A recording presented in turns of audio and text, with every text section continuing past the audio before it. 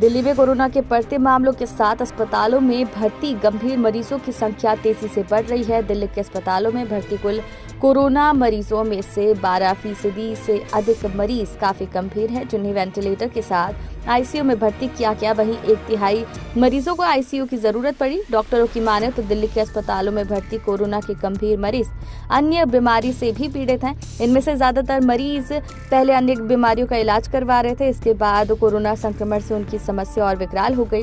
दिल्ली के स्वास्थ्य विभाग के मुताबिक, एक अप्रैल से 19 अप्रैल के बीच उन पचास मरीजों ने कोरोना के कारण दम तोड़ा। इसमें से अधिकतर मरीजों की मौत का कारण सीधे कोरोना नहीं था। Heart, lungs, liver, kidney, dialysis और अन्य बीमारी के मरीज़ थे। कोरोना वायरस के रूप बदल रहा है, जिस कारण ये कोरोना के खिलाफ बनी इम्यूनिटी को भी तोड़कर लोगों को संक्रमित कर रहा है। हालाँकि इससे सभी को डरने की ज़रूरत नहीं है। जो लोग गंभीर हैं, उन्हें विशेष रूप से सतर्क रहने की ज़रूरत है।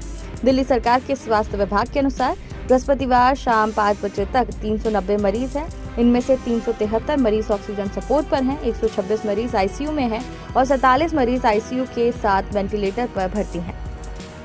कोरोना और वैक्सीनेशन से जुड़ी जानकारी से अपडेट रहने के लिए हमारे चैनल को सब्सक्राइब कर लीजिए।